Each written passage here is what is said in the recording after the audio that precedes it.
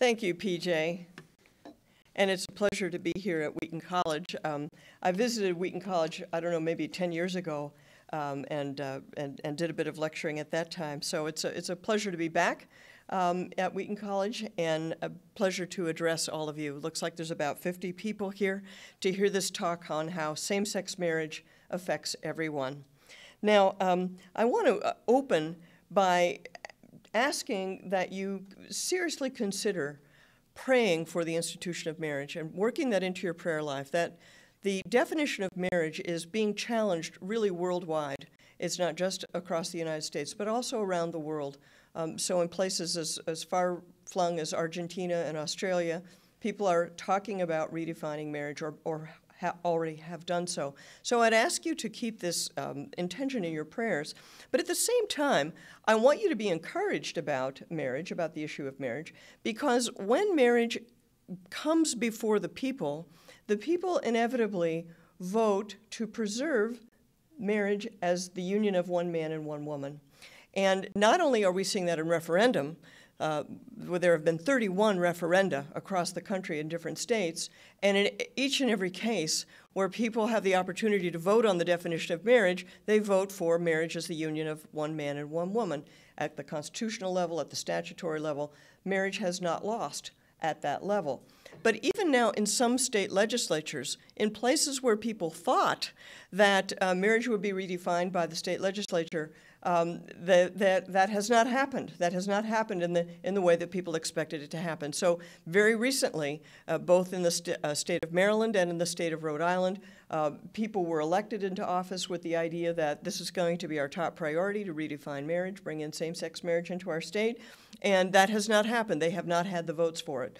So, I, I want you to feel encouraged by that, that, that the fact that there, there is still an understanding that marriage is the union of a man and a woman. Um, and that, um, that's what we're here to talk about tonight is why that should be the case.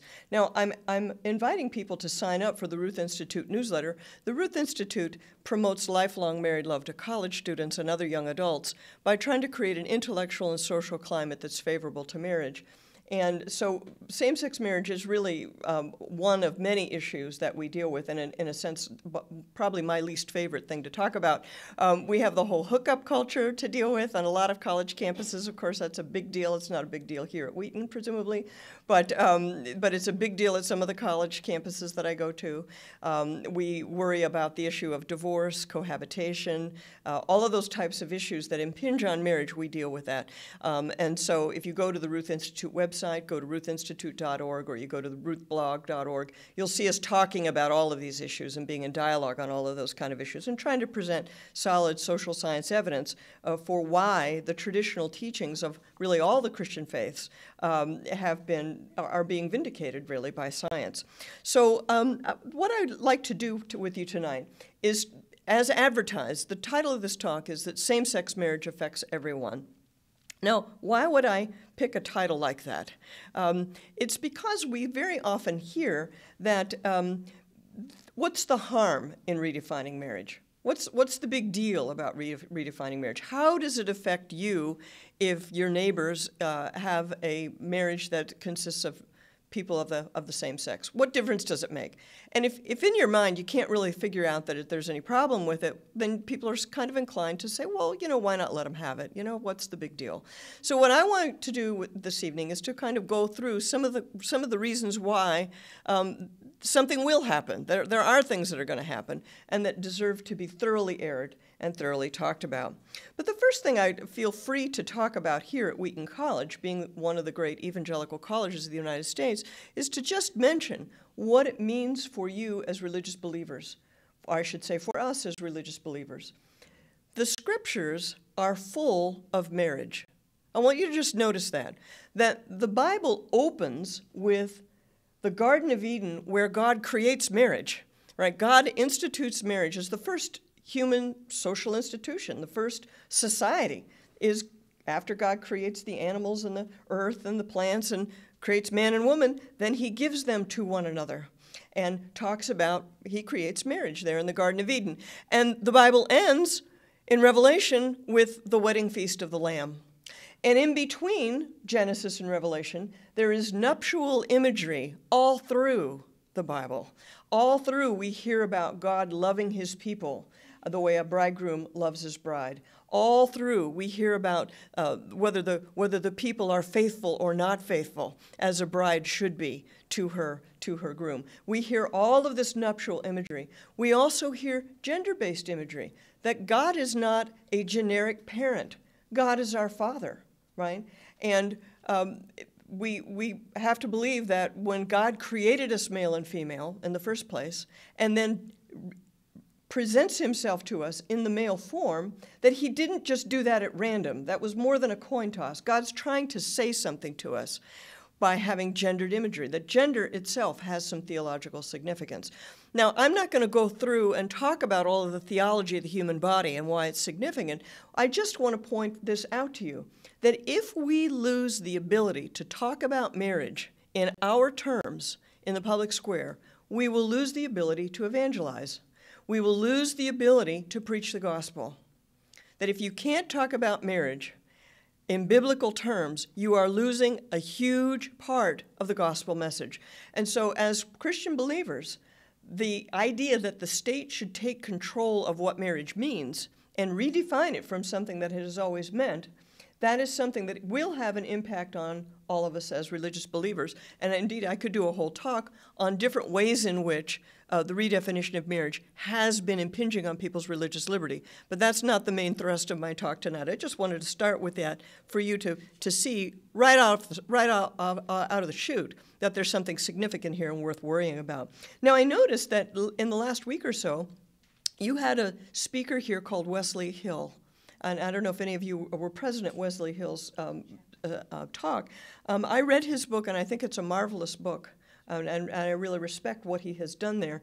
And one of the things that I want to emphasize before I say anything else is that nothing that I will talk about tonight is in any way disparaging towards people who experience same sex attraction. That is, I am not going to make an argument about marriage that's based on uh, that somehow gay people are not worthy of marriage or that there's something wrong with them or that they're going to ruin it or something like that. There's no, nothing like that. That's not what this is about. It's not about purpose of marriage and what is the meaning of marriage. And I think that you'll find that um, if you read the things that I've written, listen to my podcasts, listen to my speeches, you'll see that I don't spend I don't spend five minutes talking about what I think about gay people. It's just not something I care about. Um, and, it, and it goes without saying in my mind that um, that uh, people who experience same-sex attraction, whether they're male or female, whether they're actively participating in, um, in same-sex sexual activity, all of those people are loved by God, and all of those people have immeasurable human dignity, and Christ died for each one of them. And therefore, that's just not on the table as far as I'm concerned. That's just not even an issue. My, what I want to focus on is the consequences of redefining marriage. Some of, of these consequences I'll talk about I believe are unintended. I believe some of these are unintended consequences. On the other hand, I think some of the things I'm going to talk about actually are intended. Uh, uh, and, and part of the reason I say that is that the people who advocate for same sex marriage, there's a big group of them, right? And they don't all have the same thoughts and feelings and motives. They don't all, they're not all on the same page. Just, just like there are a lot of people who believe marriage is a man and woman, there are a lot of people who think marriage should be redefined. Um, and they have a lot of different thoughts and feelings. So what I'm going to do, what I'm going to try to do, is give you what I think is the um, is a clear picture of what I think will happen, and whether people intend that to happen or don't intend that to happen, and we'll leave that for another time or to try to figure out. So I want to start by asking a very, what I think is the most basic question. Before we talk about redefining marriage and changing one of its most basic traditional characteristics, namely the gendered characteristic, right, that marriage is the union of a man and a woman, and that two gender requirement is, is important, um, before we talk about that, we have to ask ourselves well, what is the purpose of marriage? Why do we have marriage in the first place? What is the essential public purpose of marriage? That's what I want to start with. What is the essential public purpose of marriage? Now, I contend that the essential public purpose of marriage is to attach mothers and fathers to their children and to one another. The essential public purpose of marriage is to attach mothers and fathers to their children and to one another. Now, I want to contrast this essential public purpose with inessential private purposes. All right, so if we ask, what is your private purpose in getting married? Why do you in particular want to get married? Well, you could have a whole laundry list of reasons of why somebody in particular might want to get married. You might want to get married because you want to get out of your parents' house. You might want to irritate your previous boyfriend. You might want to have the nice dress. You might want to have the big party. You might think that there's some kind of health insurance benefits you're going to get. There could be all kinds of private, personal reasons why you in particular would want to get married. But please notice, none of those, individually or taken together, add up to a reason, a public reason, why you should have marriage in the first place. None of those reasons amount to a reason why a society would create something like marriage in the first place. The fact that I want the nice dress just doesn't play into it, right? So those are inessential purposes, and those are private purposes right? That's what I'm saying there. Now, the other sense in which the purpose I name is a essential purpose is that if it weren't for this purpose, I don't think we would have marriage at all. I don't think we would need marriage if it weren't for this essential purpose. It's essential in that way. So just let's do a little thought experiment. Let's suppose we were the type of creatures that reproduced with uh, that didn't do sexual reproduction. Okay, we're like amoeba and we divide or something. Right. Okay. Well, if so, so so now we have asexual reproduction. Okay. So there's no point in marriage if you don't have sexual reproduction. There's no point in it. Or, or suppose we were the type of creature that produced bisexual reproduction, but um, uh, our young were born alive and ready to function all on their own. You know, the baby snakes get born. There's a mother snake and a father snake, but the babies are born and they just slither away. They don't really need parents, right? So there's not much call for pair bonding in the reptile kingdom, as far as I have ever heard, right? So pair bonding, marriage, right, is something that flows out of the biology of, of sexual reproduction plus the long period of dependence of the young on their parents. If it weren't for that, I don't suppose anyone would have ever thought of the idea of lifelong sexually exclusive partnering, right? You wouldn't need it, it wouldn't enter your mind to create something like that. So that's the sense in which I say that this is the essential public purpose of marriage. It's essential in the sense that if it weren't for that purpose, you wouldn't need marriage in the first place. There'd be no point to it, okay? So, why am I spending so much time on that? Because I think that defining that purpose of marriage is crucial to understanding how the legal battles are playing out. I have noticed that in court in court cases where the courts say that, um, that yes, this is the essential public purpose of marriage, where they say, yeah, there's an important, pro- important procreative purpose of marriage, um, those courts inevitably hold that it's perfectly legitimate for the state to require a man, a male-female requirement. That, is, that, that it's not discrimination to say that uh, marriage requires a man and a woman, and that same-sex couples are not being wrongly excluded because the essential the essential purpose, namely the procreative, in some form, the courts say this in a variety of different ways. They have a variety of different formulae that they use, but they're coming to the same sort of thing. That where the courts say yes, this is one of the essential purposes of marriage, then you can, then it's clear that a same-sex couple and an opposite-sex couple are situated differently with respect to that purpose. So if you're situated differently with respect to that important purpose, it's not discrimination to treat people differently, right? If it's, if it's in fact, if you are situated differently with respect to that purpose, then it's there's nothing unlawful about treating people differently in that situation. It is only when courts say, no, this is not an important purpose of marriage, that is when the courts will say, no, the Constitution requires same sex marriage. Where courts have said that, the con- that it is unlawful discrimination to say that marriage is only a man and a woman, in those cases, the courts have always redefined the purpose of marriage. And I'll, I will give you an example, that, which is really the most recent example, from the Proposition 8 case that took place um, that, as you probably know, Proposition 8 is in the courts, it's in the federal courts right now. And last August, the federal judge uh, ruled that the requirement that that there be a man and a woman in a marriage, that that was unlawful discrimination. That was Judge Vaughn Walker um, in, a, in a federal district court out in California, and he overturned Proposition 8. He said Proposition 8 violates the federal constitution. That's what, the, that's what was the subject of that case. Well, so in order to do that, what did he say was the definition of marriage? I want to read to you what he said was the purpose of marriage. He says this Marriage is the state recognition and approval of a couple's choice to live with each other, to remain committed to one another, and to form a household based on their own feelings about one another, and to join in an economic partnership and support one another and any dependents. So if you listen to that definition, there's nothing in it about sexual exclusiv- exclusivity. There's nothing in there about procreation. There's nothing in there even about sex. This doesn't have to be a sexual relationship. In fact, some of you kids uh, could make this definition with your roommates by the end of the semester, you know. So this definition of marriage is not really what we would think of as marriage, right? There's the purpose, the procreative purpose is not even on the list. It's not just that it has moved down the list, it's off the list.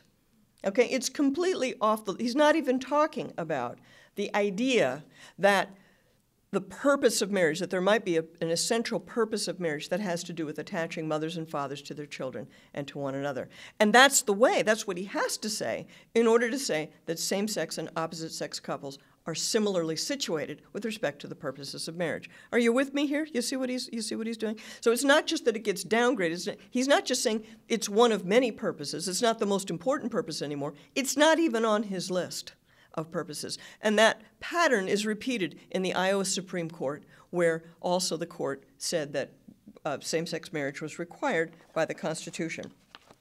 So if you start with that and understand that this is that, that this is what's at stake, is that there is an essential public purpose to marriage, which is being defined out of existence in the process of redefining marriage, that's what gives rise to the thought that there's going to be some problems with redefining marriage. It isn't simply making things equal, right? It's not simply treating people with respect. That's not all that's at stake here. I believe that what's at stake here is that same sex marriage will undermine some key principles of law and social practice.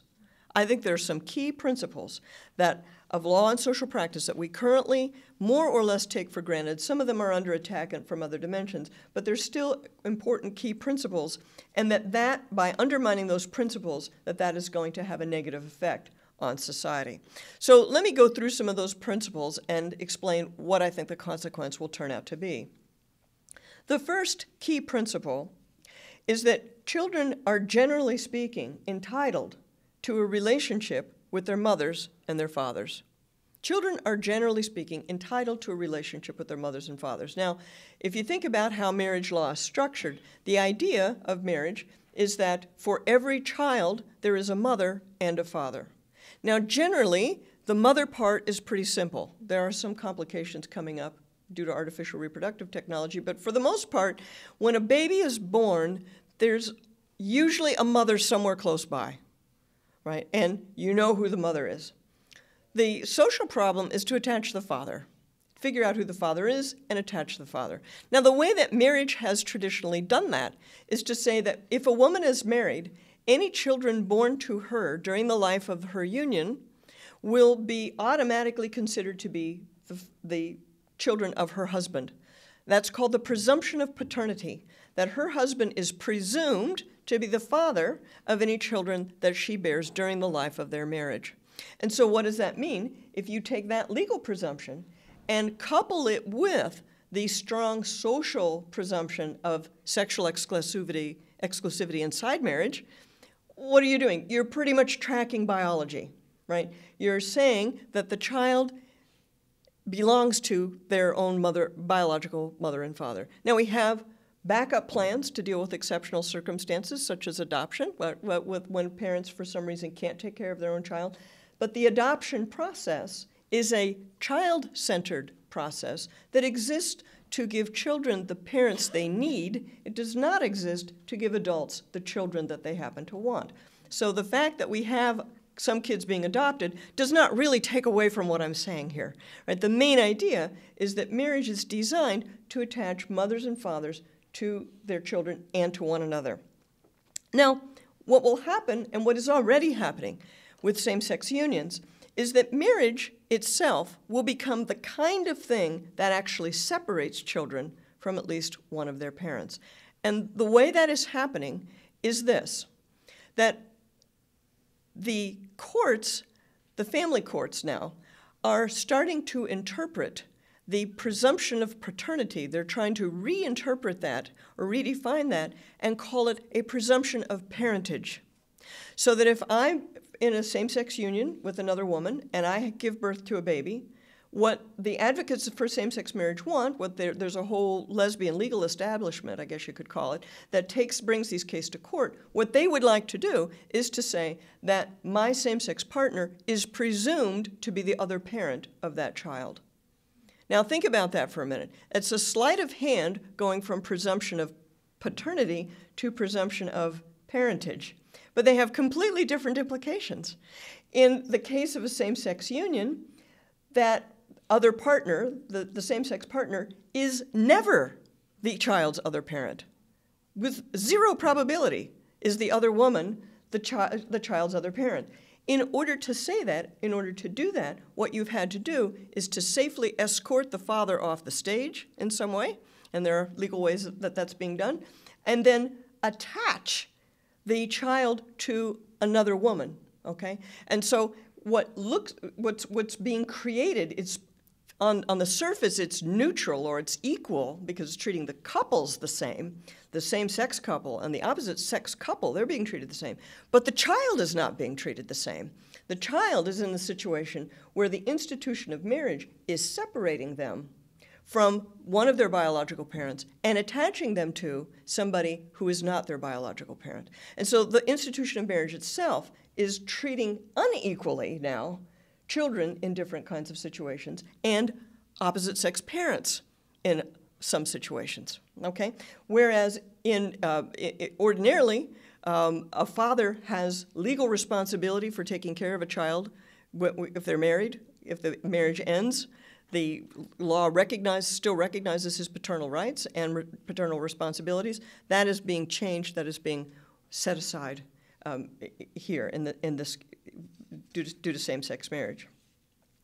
So the second principle that um, uh, I would say of law, not so much of law, but of social practice and social understanding, kind of cultural norms, that same sex marriage will affect, is the idea that mothers and fathers are not, generally speaking, perfectly interchangeable.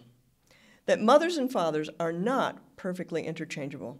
That is, that mothers make unique contributions to the well being of children, fathers make unique contributions to the well being of children, and that having two moms or two dads is not the same thing as having a mother and a father. It's very interesting to look at the literature that comes out. I suppose you've heard that there are studies that say that the children of same-sex parents do just fine. Okay, a, a lot of times those studies are are very very interestingly skewed because what they do is they have a list of parenting behaviors, and they ask the question how much of these parenting behaviors are being done. And of course, the things you put on a list of parenting behaviors usually are mom behaviors, right? Uh, things that moms do, hands on kind of stuff that moms do. And so it looks like then that mothers do more of things moms do, like helping with homework and um, and uh, spending time with children and nurturing children and uh, speaking in soft voices and all these kinds of things that end up on these lists of parenting activities. So it looks like mothers are the best parents. And so from that, we have people concluding that two mothers are better than a mother and a father. And I'm not making that up. There, there were at least two different studies that came out that once you looked past the headline and looked at what was really there, that's what they were saying. Now, there are a couple of problems with this. Actually, there are many problems with this, but I want to just focus on one for now. And that is that, again, this thing which appears to be neutral, with respect to the genders, which appears to be neutral with respect to same sex and opposite sex couples, I don't think is going to operate in a neutral way. In other words, when you say mothers and fathers are interchangeable with one another, that's not going to affect moms and dads the same way. What I think will happen, and what I think is already happening, is that it is fathers who will be marginalized from the family. It is fathers who will be disposed of. It is fathers who will be considered not essential. How can I, why do I say that? How, what, what kind of evidence do I have for that? Well, let me just give you a few little, first of all, re refer back to the very first point that I made, which is that when a baby is born, the mother is usually nearby. The attachment of the mother and the child is intrinsically strong. And it's the father that you have to put some effort into attaching. So if you say that mothers and fathers are interchangeable, then what's the point of attaching the father? What's, what's the point of doing that? If you could attach the mother's girlfriend to the mother's friend just as easily, then what's the point? And one of the things that we're seeing is the redefinition of birth certificates, the rewriting of birth certificates. In British Columbia, for example, where if you look at the, they have same-sex marriage in, in, uh, in, Canada. I don't know if you knew that, but they do. They have same-sex marriage in Canada. And as a result of that, they had to go and redo the birth certificates. They have to figure out, well, okay, we have to be ready to deal with these situations now. And so there's a place for the mother's information. There's a place for the child's information, of course. And then down where the father's information would be, there's a checkoff box. And the checkoff boxes, you can check off a box that says this person is the father, this person is the co-parent, has agreed to be the co-parent. Okay, so motherhood is intact on that document, but fatherhood has become a checkoff box.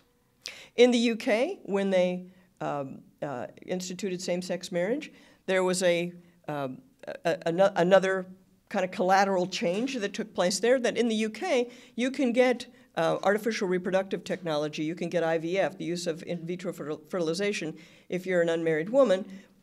The rule had been, you get it through their National Health Service, the rule had been that if you were an unmarried woman, you had to sign a statement saying that, um, that your child would have some kind of father figure.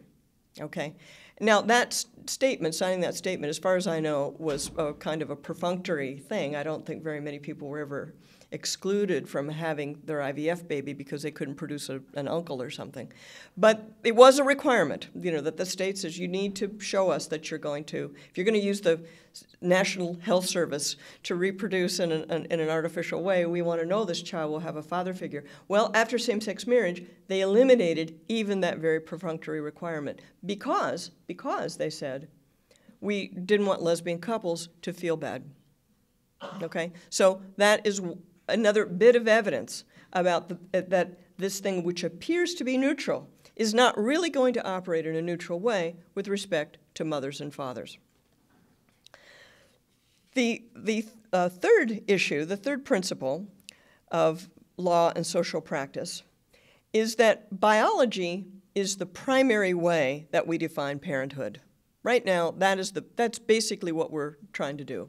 That the law is simply recognizing that a child has two parents, right? And if you say the word mother and father, the whole human race knows exactly what you're talking about the mother and the father, the male parent, the female parent. And we're, it, it doesn't it's not rocket science, it's not that complicated. Little children figure it out when they have their little toy animals. They figure out which is the mother horse and which is the father horse. And everybody is completely intelligible what you mean by mother and father you mean the biological male parent, the biological female parent. Now, what is happening in the course of recognizing and legalizing same-sex unions, what is happening is that the principle that biology is the primary way that we determine parenthood and define parenthood, that is being undermined. That is being undermined because now what is happening is that the parent is the mother and whoever else she names, in effect, right?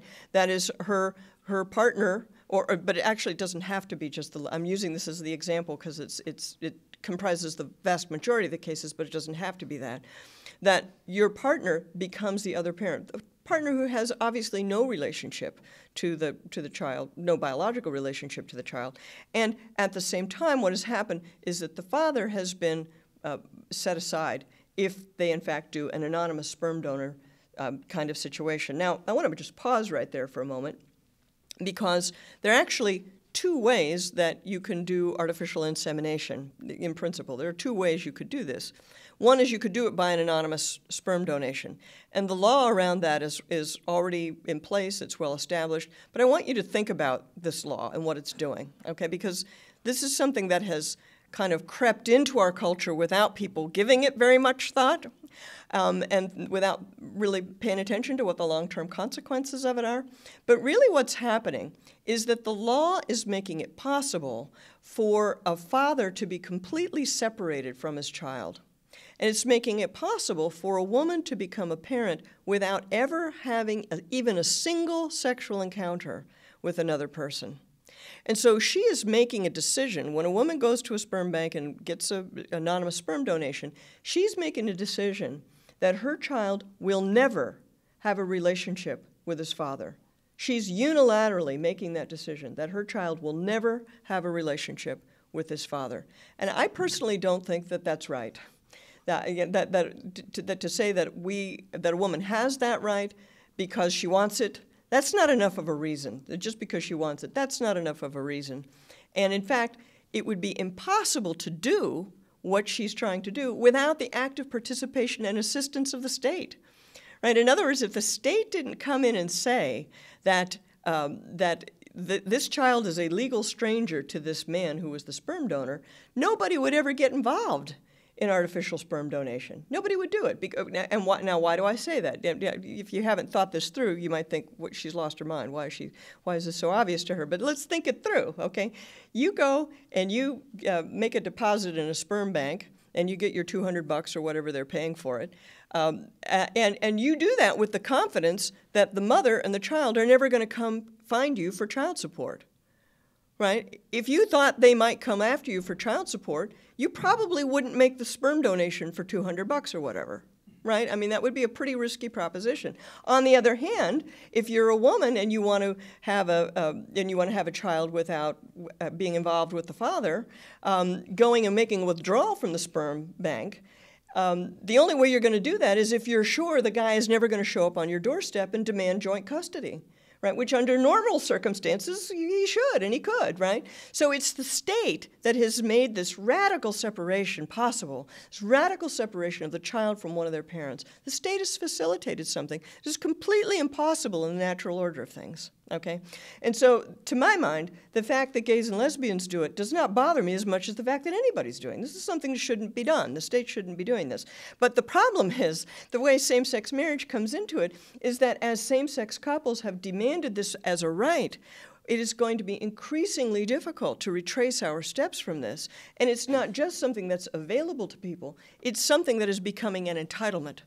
The use of artificial reproductive technology is becoming more than just sort of available. It's becoming an honest to goodness entitlement. And I don't think anybody has really thought through the full fledged consequences of that. So that's the first part of this problem is that you can do it through anonymous sperm donation with all these problems that I'm talking about. The other side of it, though, is that you could decide, well, gosh, we, we, we want our child to have a father. We want our child to be involved with their opposite sex parent. And so, and these cases are, are, are, out there. These cases are coming up. In fact, these are some of the ones that you see in family court where the courts have to figure out what to do because the way they go is the lesbian couple that decides, well, we'd like to have a baby, and we have uh, Joe over here, and he's we like Joe, and maybe Joe's gay and has a gay partner, maybe he's not, maybe he's somebody's cousin or you know whatever it doesn't matter. But they have a known sperm donor is the point. And so what they'll try to do is draw up some legal documents that will define their relationship amongst themselves. And then uh, the document doesn't quite cover everything that came up right right? You, it's very hard to make a plan like that right? That says you're going to be a you're going to be a parent but you're going to be at arm's length. And we don't want you we want you involved but not too involved right? And to, to make a, a plan like that it's not surprising a lot of those plans fall apart and end up in court. And so, one of the things that people are doing is they're ending up with triple parenting. They're ending up with three names on a birth certificate, three people having legal custody of a child. That's what's happening. Now, the reason I'm telling you this is that this is a serious matter, right? To start from a society where biology is the basic way that you do parenthood and to now get yourself to a situation where you have three legal parents, that's a big step. And how often in the debate over same sex marriage have you heard anybody talk about that? Very seldom do you hear anybody talk about it. But it deserves to be thoroughly vetted and thoroughly discussed. And when somebody brings it up, it's not proper at all to hoot them down as a bigot or to say that you, you, you just don't like us and that's the reason you're talking about this. Has, that has nothing to do with this. This is a very serious kind of legal and social change that we're setting into motion without thinking through the full consequences of it. And by the way, uh, saying, that, uh, saying that artificial reproductive technology is an entitlement uh, opens up a whole range of things that we aren't even beginning to think about. Right now, we think of it as, oh, the people who go use IVF are uh, people who really love a baby and want to have a baby. But the, the truth is, under, under American law, anybody with money gets to do anything they want. There's no rule that you have to love the baby. Nobody's checking that out, right? And, uh, and so as this thing unfolds, and more and more people do it, and more and more uh, incentives be, become discovered and get, and get into place, you're going to have people doing things for not so nice reasons. And so, again, I'm not saying that uh, anything about what gays and lesbians are going to do or not do. I'm talking about the legal structures that are being put into place that are going to affect everybody's behavior. Those incentives are going to affect everyone, not just the handful of people who currently describe themselves as gay and lesbian. So I think that this issue of redefining parenthood is quite serious. What's happening is that in the process of redefining marriage, we're also redefining, redefining parenthood. But nobody's talking about the redefining parenthood piece. Now, this is a little spot. I'm going to stop and, and say that this is a place where I know for sure that there are some people who intend this outcome because you see them writing in law reviews. You see them writing articles in, say, the Boston Globe. The Boston Globe let the cat out of the bag uh, not too long ago with a story about uh, children with four parents. And they wrote, basically, the Boston Globe wrote a puff piece about, isn't this nice? This child has four people who love them, you know, um, and not talking about the complications and the legal meaning of what is going on here. Where this this group of people, whoever they are, gay, straight, you know, who, whoever they are. There, there's, there's a batch of them out there, and you know, they don't have all labels on them. But um, where they're headed, I believe, is contract parenting. That is, that parenting, parenthood is not your identity as the biological mother and father. You know, that, that right now that's your identity. You're a mother, you're a mother forever. Where they're headed is to a system where adults parcel out parental rights and responsibilities through contracts with one another. And the child is kind of sitting here with a life that is not fully integrated, let us say. Okay, that they're, that they're, somebody's got educational rights, somebody sees the kid every other Tuesday, somebody's got medical rights. That kind of, of disintegration, right, something that should be integrated and all bound up together, that disintegration is what's going to be the outcome for kids.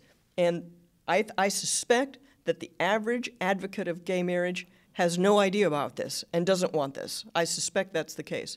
But I know for sure that there are some who do want it, right? And that's, and that's why they're doing it. That's what they're headed for. They tend to be found in law schools. All right. I bump into these people in law schools and in law reviews. So, the final point that I want to make about this, the final uh, legal principle or idea, um, is that currently our understanding is that the state recognizes parenthood and parentage, but does not control it and does not assign it. That when the state puts down on the birth certificate mother and father, what the state now is doing is recognizing a pre existing reality. Right? There is, a, there is a natural reality, mother, father, you give birth to the baby in the hospital, nice little lady comes around and says, Let's fill out the birth certificate. The state is simply recognizing a truth that's already there. What's happening now is that the state is defining who counts as a parent, who counts as a legal parent. And the biological point is being set aside. Now, one thing that's coming up in the case law as we look at these disputed lesbian custody cases is that the state is being asked to declare somebody a de facto parent. That is, the state knows perfectly well that this woman is not the parent by biology and is not the parent through adoption. And by the way, if there's a second party adoption in a same sex couple, there's no case because the second party who has adopted a child is fully a parent. Okay, so there's, there's never a custody issue there. All these cases have to do with situations where they didn't do a second party adoption and they're, and person's not biologically related to the child. So the, that the estranged lesbian partner will come into court and say, I want to uh, be declared parent in fact, a de, a de, facto parent. And typically in, the, in these cases, um, they're defended by um, um, some of the high profile advocacy law firms. That, that's the kind of case that they like to take.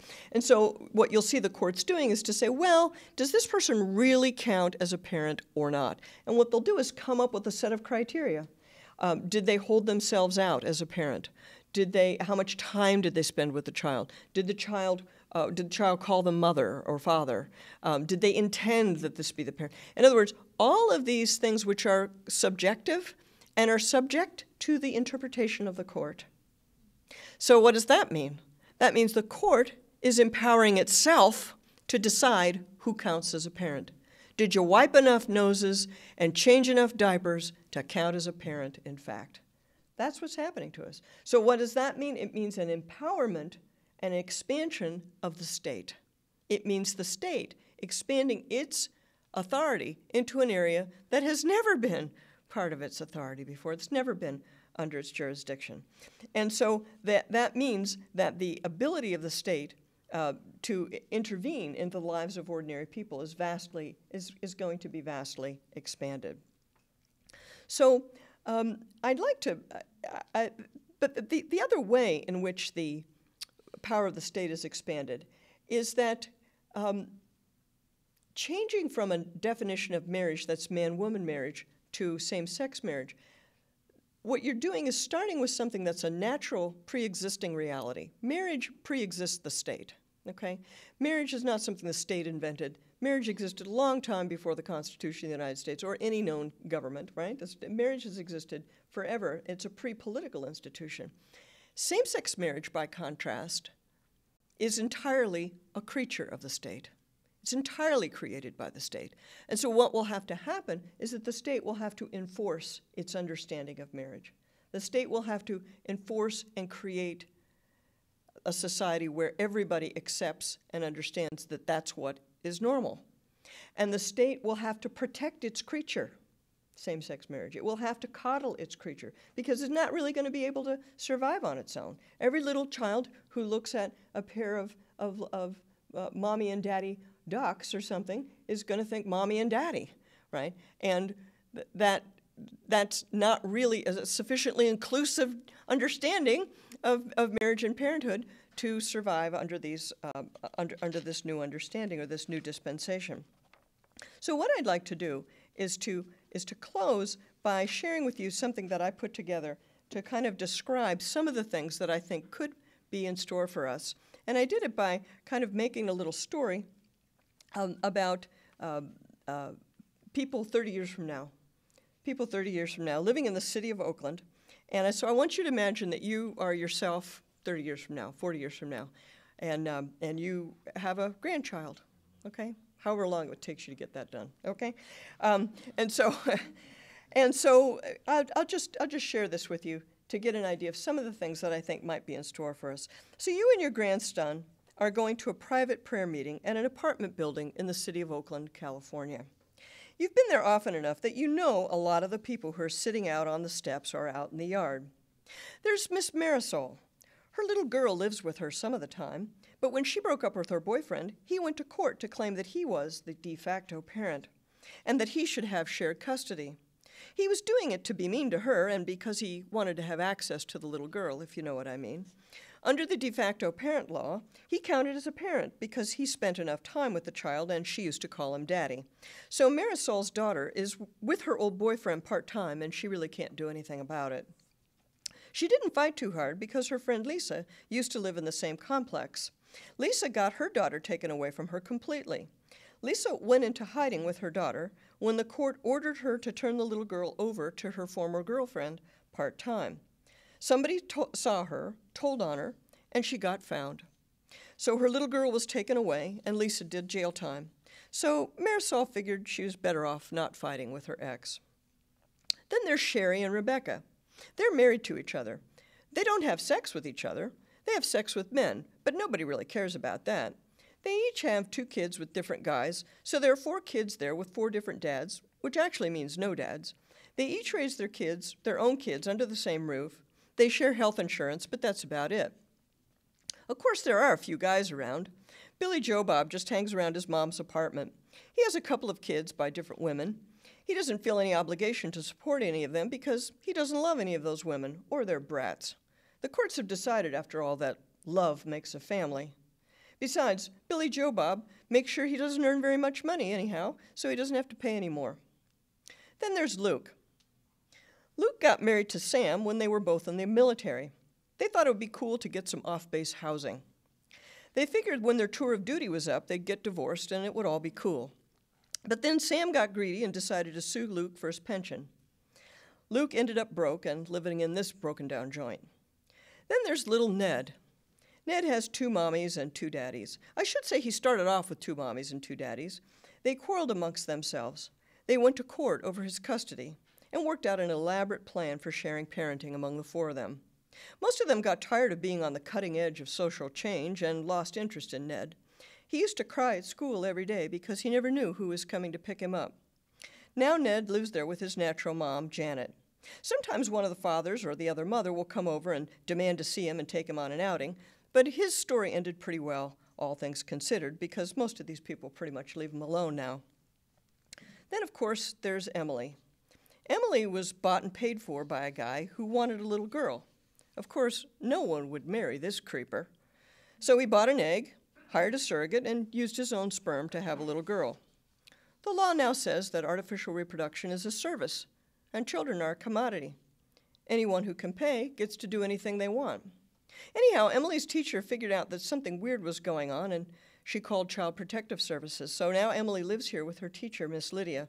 But she'd lived with her dad, or maybe I should say her manufacturer, for the seven years before anybody stepped in to help her. So you go up the steps to the prayer meeting to Miss Lila's apartment. Not too many people are coming to these prayer meetings anymore. Today it's just Miss Lila, Mrs. Garcia, and old Mr. and Mrs. Villanueva. They used to be very active in Couples for Christ, a worldwide Filipino organization for married couples. But some same sex couples wanted to join. The organization tried to accommodate them, Christian charity and all that, but those couples didn't feel at home because so many of the Couples for Christ programs talked about how men and women should treat each other and how they could understand each other and talk to each other. So the same sex couples sued. The judge made Couples for Christ take out everything that had to do with sex differences. Well, there wasn't much point in the organization after that. Old Mr. and Mrs. Villanueva didn't quite know what to do with themselves. After the organization closed, they had lived and breathed couples for, for Christ. So Miss Lila brought out the old plaster statue from its hiding place, and everybody brought out their prayer beads. They said their prayers for a while and drank coffee, and you and your grandson left. As you got on the train, you told your grandson, Back in the day, these BART trains used to go all over the place. There aren't too many of them left now. You remember hearing back at the turn of the 21st century how much the government was spending on taking care of kids without their own parents. Back then, it cost the U.S. government the equivalent of the GDP of New Zealand, $112 billion per year. You don't want to think about what it costs today. As you're riding along, your grandson asks you, Why is Miss Lila so sad all the time? Well, her brother used to be the Bishop of Oakland. He's been in jail for the last 10 years, and she's praying for him all the time. Well, why did he go to jail? Well, you know that high school over on Fruitvale Avenue? Sure, Von Walker High School. That used to belong to the Catholic Church. Your grandson's eyes get wide. The church used to have schools? Yeah, that school used to be called St. Elizabeth Ann Seton School. The city tried to tell the bishop that the Catholic schools had to teach stuff that he didn't want to teach. Well, what kind of stuff? Well, like God knew what he was doing when he created men and women as different but equal marriages between a man and a woman, kids need a mom and a dad, stuff like that. A lot of people started coming to the Catholic schools because they wanted their kids to learn that stuff and nobody else was teaching it. One day the police came to force them to get rid of some books. All the parents came to the school to guard their kids and their books. The bishop blocked the doorway and the police took him away. Some of the parents tried to fight back, but when the police started taking the kids away to put them in foster care, most of the parents gave up. The bishop's still in jail. He was one tough guy. He never backed down. A lot of people secretly admire him, but they're afraid to say anything. Oh, you aren't afraid, are you, Grandpa? That's why we go over to Miss Lila's, isn't it? That's right. Grandpappy, you fought for the bishop, didn't you? Long, silent pause. The BART train rattles on. Grandpappy, you didn't do nothing to help the bishop, did you? No, I didn't do nothing. Here's our stop. Let's go watch the Raiders play ball. So you and your son get out of the BART at the end of the line at the crumbling Coliseum, the last remnant of what was once a great civilization. Ladies and gentlemen, this doesn't have to happen. We can show dignity to our brothers and sisters who suffer with same sex attraction, who struggle with same sex attraction, without taking marriage apart and all the things that will be involved in that. I would encourage you to keep the faith that we're on the right side of history here. I would encourage you to inform yourself, speak up, and show up. Show up when the time is right. Be part of your union or your church or your PTA. Go to your school board meetings. Do these things. Show up. And together, we can make a difference for natural marriage. Thank you very much.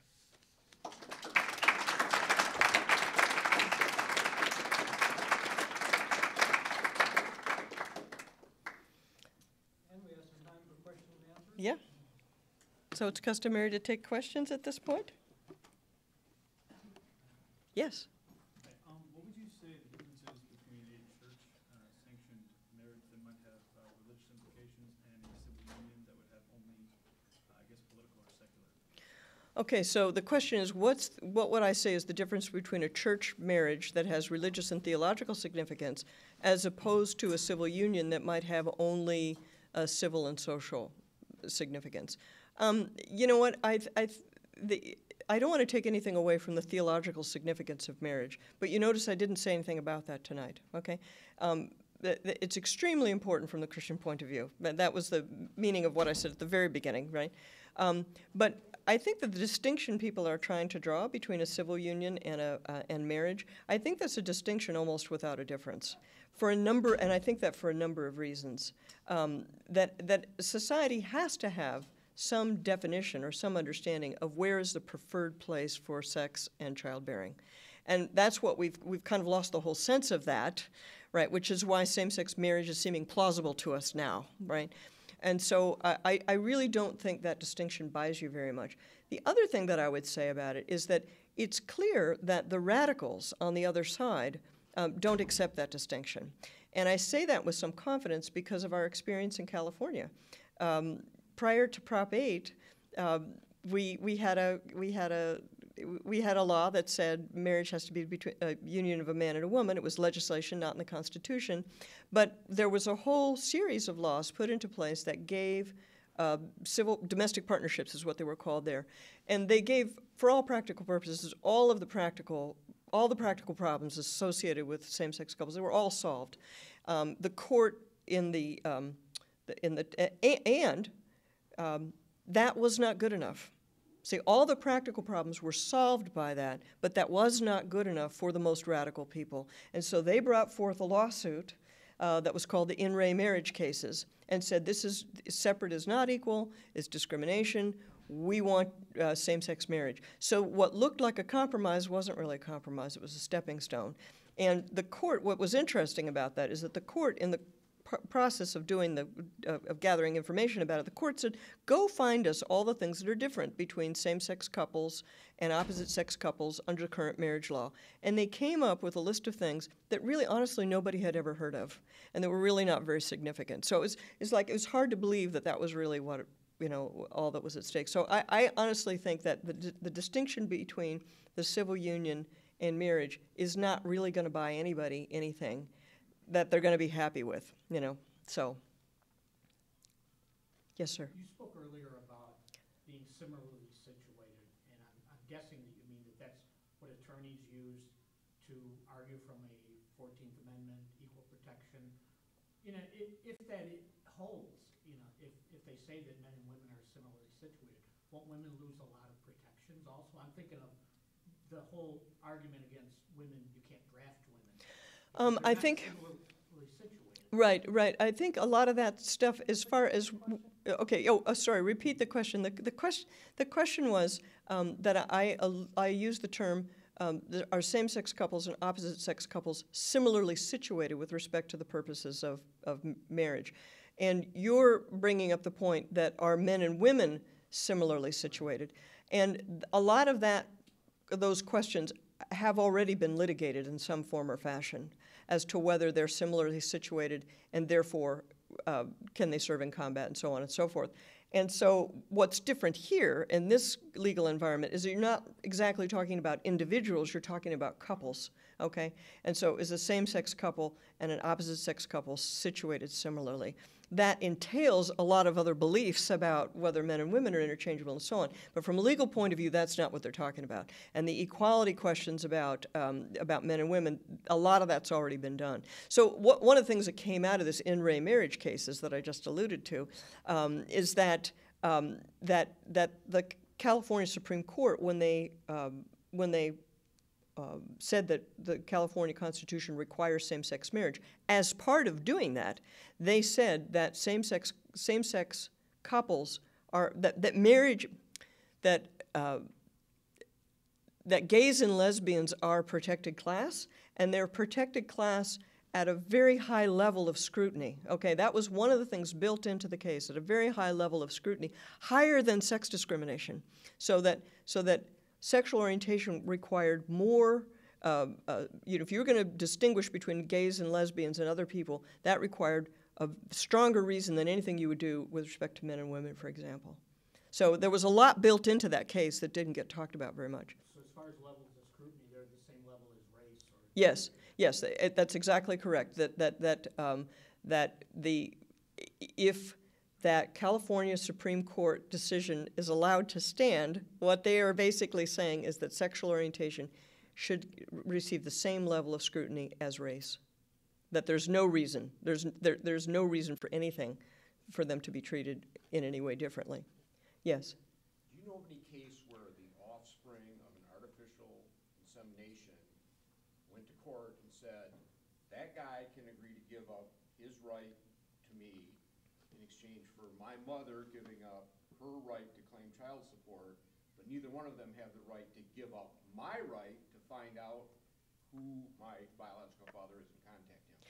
Okay, so the question is, um, uh, have there been cases of children of donor conception um, as adults coming into court and saying that their parents didn't in fact have the right to contract away some of their rights and responsibilities? And the answer is yeah, that's starting to happen. It's, it's interesting, there are a group of people, they call themselves donor conceived persons. And there are a number of blogs um, out there now that are um, that are populated by donor conceived persons where they write in about what their experiences are like.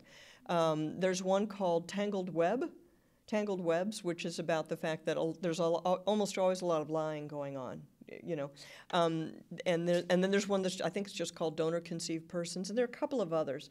Um, but in any case, so they're starting to talk amongst themselves about what this experience is like. And some of them are becoming advocates for uh, open records. Um, they're not really in a position to demand child support because usually they're adults, right? If they're old enough to demand open records, it's, the whole child support question is moot. So, um, but but yeah, they're starting to speak up. I, I, mean, that's the bottom line. Now, um, and and what the outcome of that is going to be, I, I don't know. I I'm in, in sort of email contact with one of these um, uh, people, who has started her own blog and who's really adamant that um, you know that that what is that what's going on is baby selling basically.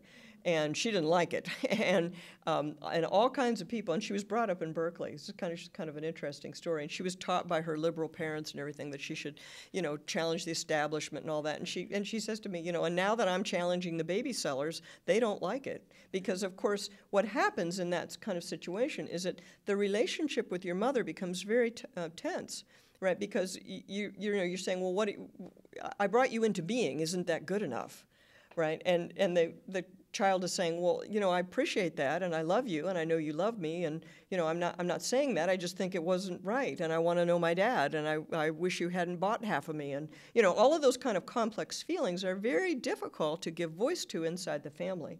Um, and so when th- this young lady, I think she's in her 20s, now that she's starting to talk about it openly, her mom's not happy about it, you know, and, um, and they're taking some flack, and they're taking flack from the industry. You should know, by the way, that the, um, the artificial reproductive technology industry is a big industry, and there's a lot of money involved in that. And um, you know, let's let's just close with this thought because I, I, as I said at the beginning, I care more about marriage than I do about gay issues. Okay, so let's just go back to marriage and natural marriage, right? If you get married and stay married, and you um, don't contracept and you have babies naturally, no one makes any money off of you. Okay? No one makes any money off of you. If you get divorced, people make money off of you. If you contracept, you're, you're paying somebody to do stuff to your body. If you have to use artificial reproductive technology, a lot of money changes hands, okay? And this came to my mind because I was looking at a lesbian parenting site and realized that they were being sponsored by uh, an IVF clinic. Right, and I'm thinking to myself, well, why can't the Ruth Institute get somebody to sponsor us? And I'm thinking, well, because nobody makes any money off of doing it naturally, you know. And I really think that's the bottom line. No divorce lawyer is going to come on and help me, you know. I mean, that's just that's just the way it is. So, so I'll just leave you all with that thought. And um, thanks for signing up to with our uh, Ruth Institute newsletter. And let me encourage all of you young adults to go to the Ruth Institute website and look at some of the things we have going on. We recently finished a video contest, a film contest, where young adults were answering the question, uh, what makes lifelong love possible? And there's some very cool, fun videos up there that people made, and so I'd encourage you all to go do that. And if you didn't get a chance to sign up, the sheet's over here. Thanks. Thank you very much.